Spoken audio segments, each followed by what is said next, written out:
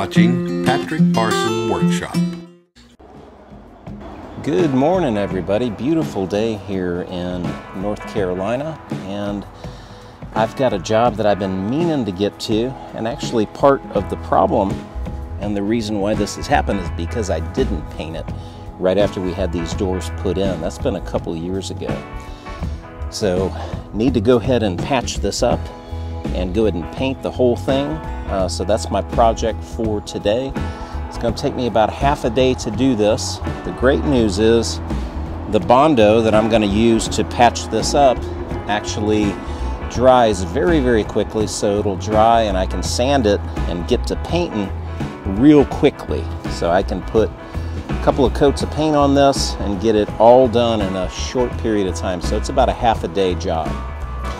All right, so the first thing I'm going to do is go ahead and open up this Bondo and this is the same Bondo that you would use for auto body.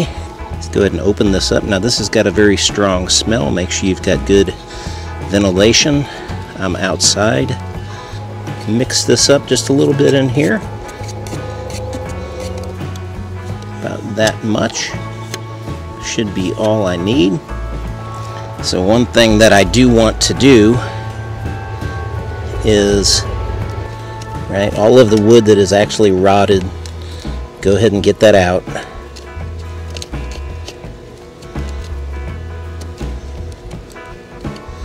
I haven't mixed my Bondo yet, so I'm good there. I will get it over here out of the way so it doesn't get any wood in it. A lot of this rotten wood here. I do want to make sure that we're attaching to good wood here. All right, so I'm going to take this brush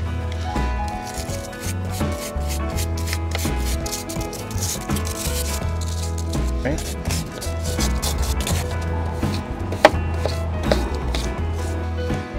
Now, I'm going to go ahead and bring back the Bondo over here that I had already laid out. All right, I think you can see that now. So I'm going to go ahead and put a little bead of this hardener out here. All right, so I'm going to mix that together. And when I do, it's going to harden up really quick. So I'm going to have to be very speedy in putting some in here. It's going to be ugly at first, and I'm not going to fill this whole thing up. There's a lot of material to replace there, so it's going to take a couple of times.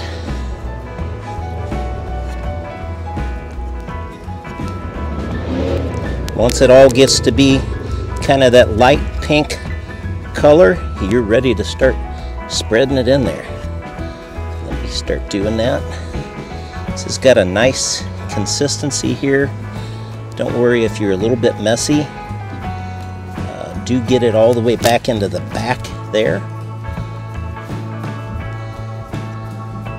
This is just your first coat. Do want to get it all the way back to the back. And I'm going to let that dry, and it's going to dry pretty quick. Alright, so this Bondo is dry now, so I'm just going to go ahead and sand it here just a little bit. I'm not going to go too crazy.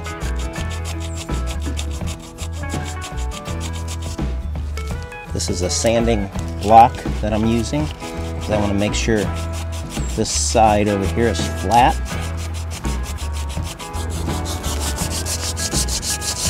And when this dries, it's kind of like sand and drywall mud a little bit. A little bit harder.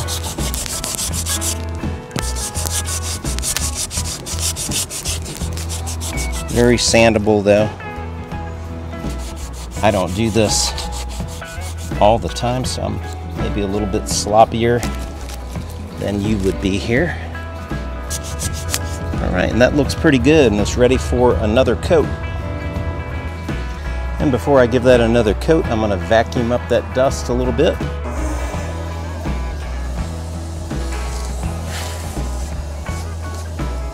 Then I'm gonna go ahead the little strip of the hardener out here. All right, that is looking good. I'll start working that up into there. You can see how it's filling even more of that cavity now. It's one of those things, kind of like putting a bead of caulk down that if you haven't done it for a while, you're not going to be good at it. But, got something that needs to be done, got to go for it, right? And you learn as you go, which is a good thing. All right, now we'll let that dry.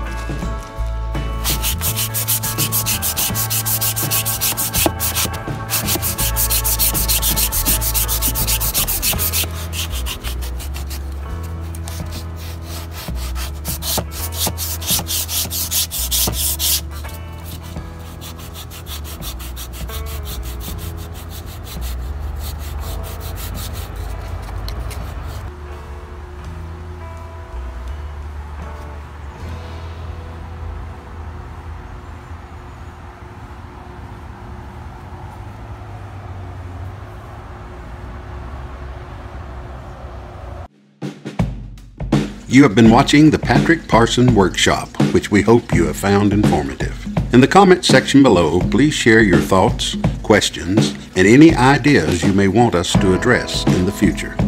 Also, why not consider subscribing to the channel, as every week we will have something new for you, and we would surely hate for you to miss it. As always, thanks for watching Patrick Parson Workshop.